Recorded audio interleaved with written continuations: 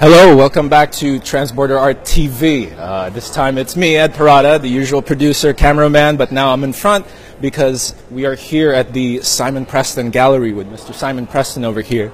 And I'm just excited about uh, what I see on the wall, and um, I, I, I, felt I had to say something. So, uh, with this first piece uh, by John Gerrard, um, it's pretty interesting because it comes out off the wall. But maybe Simon, you could tell me a bit more about this artist and John Gerrard is an Irish artist. He's based in Vienna, and he works with real-time simulations.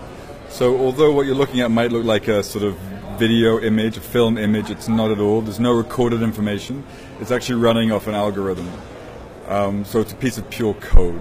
So in fact, the small patch of the Danube River, which he's laid on this small petroleum patch, uh, unfolds over the course of 365 days. So the sun will rise and set as it does in that location.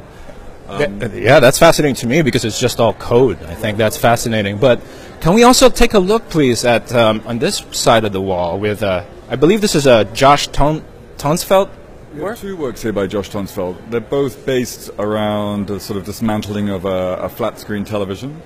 And in this instance, although it's quite hard at first to sort of um, just figure out what's going on, Josh has actually removed one of the thin prism films, which he's used in another work and that has actually given you kind of access to the back of the television. So you're seeing the light source, and he uh, there's some small sculptural elements in there, but the television is still playing as it would. So you're also seeing uh, a short video clip being played on top.